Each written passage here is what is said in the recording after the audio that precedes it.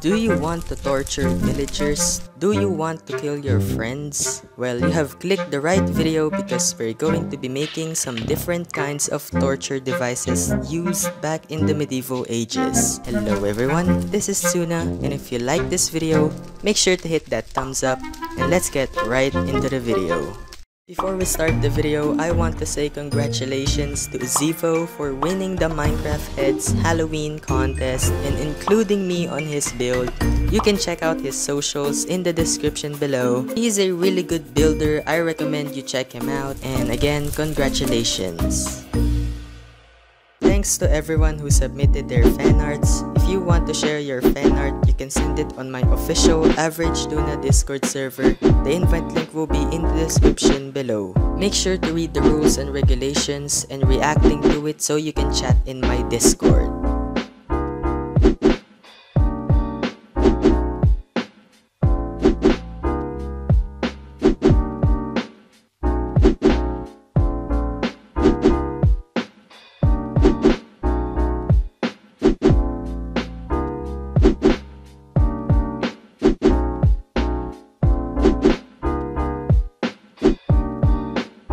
For our first torture device, we will be creating a pillory. If you don't know what pillory is, it's used to imprison a person and expose to public abuse. The pillory has three holes, one for the head and arms on each side. And there we have a simple pillory design. If you want to imprison Steve in the pillory, you will be needing his head, item frames on each side, white terracotta for his hands, and an armor stand which we will be putting on his backside. And using redstone block and piston, we can push the spruce stairs to cover up his body. And there we have a Steve imprisoned in the pillory. For bedrock users, we can replace his hands using a jungle button because in bedrock you cannot place an item frame and a sign in the same place. It is also the same color palette as his skin color which looks much better. For our next one, we will be creating a gallows. Start with a 5x5 space and fences on each side.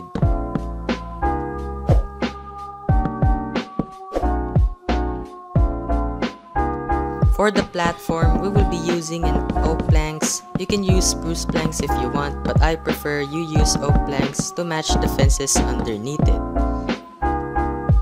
Now add stairs to the left side. Doesn't matter if you put it in the middle or the right side. Then using oak fence, we will be creating the arch. The arch will be 5 blocks high.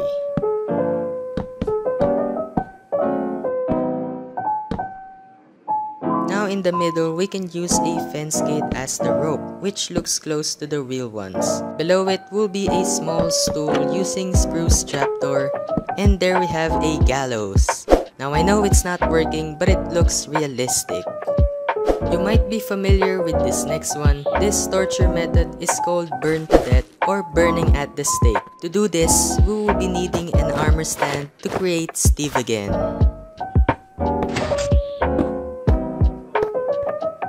Then using piston, we can push the granite pole and a jungle fence on top.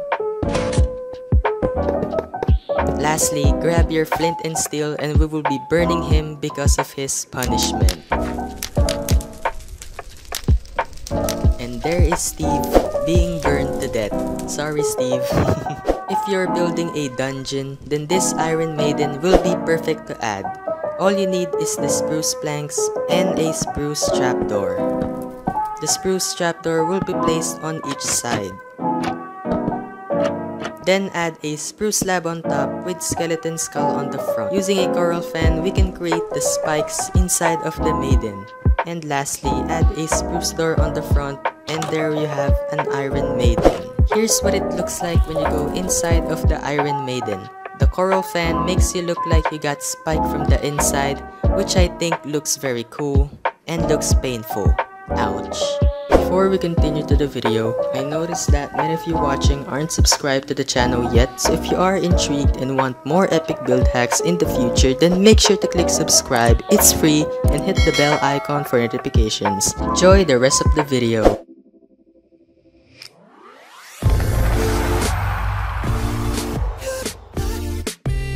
Another torture device to add to your dungeon is the rack. If you don't know what that is, I will insert a picture on the corner. It is very simple to make as you only need a spruce slab, a spruce fence gate, a cobblestone wall on the right side, and a trapdoor on each side of the cobblestone wall. Simple as that, we now have the rack. The trapdoor will be the spinning wheel to stretch the person, and the fence gate to tie up the person. And of course, every dungeon or your torture room gotta have an electric chair. All you need is a spruce slab, place the spruce trapdoors on each side, and the back will be the oak door. Of course, you will be needing a skeleton skull to be placed on top of your head. Now we have a simple electric chair. But the problem is the skeleton skull is floating on top which looks weird. We need to fix that using cobblestone wall and an armor stand.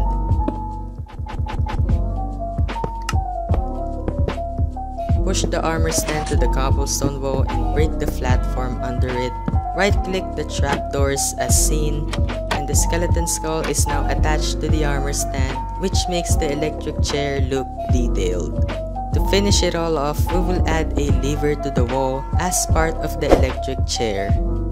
Same as the electric chair, we will make a torture which is even more brutal than the previous one for sure lots of us already knows this and this torture looks painful.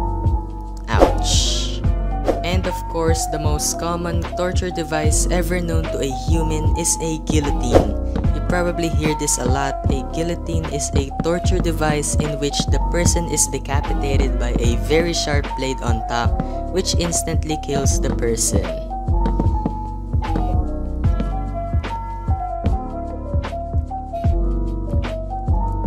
Now I will be using a banner and a terracotta as the blade and a chain to hang the blade on top. Let's now create the blade using banners. You can pause the video so you can follow.